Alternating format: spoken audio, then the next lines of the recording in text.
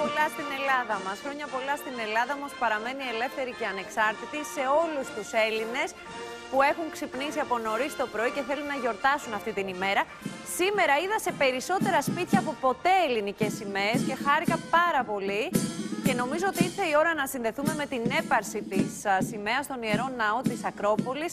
Παρουσία επισήμων και ο Πρωθυπουργός είναι ήδη εκεί και προτείνω να δώσουμε ήχο και εικόνα στην καρδιά της πρωτεύουσας. Παρουσία και της Προέδρου της Δημοκρατίας, της κυρίας Ακελαροπούλου, να πούμε ότι ούτως ή άλλως η Ελλάδα γιορτάζει, έχουν φωταγωγηθεί πάρα πολλά κτίρια και στη χώρα μας και σε όλο τον κόσμο. Έχουν γίνει πάρα πολλές εκδηλώσεις.